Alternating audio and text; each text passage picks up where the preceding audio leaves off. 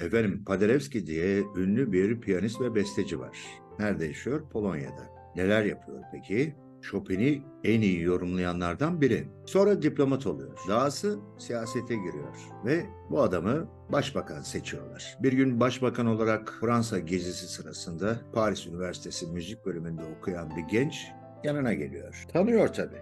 Diyor ki siz o ünlü piyanist Jean Paderewski değil misiniz? diye soruyor.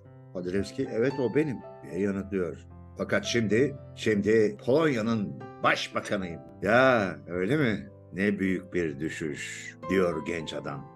Paderewski gencin bu sözünü hayatı boyunca kendine dert ediyor. Halka konuşurken şunları söylüyor. Piyanonun tuşlarına hükmetmek devlete hükmetmekten zormuş meğer. Başbakanken ırmak geçmeyen yere köprü vaat edersiniz. Herkes inanır.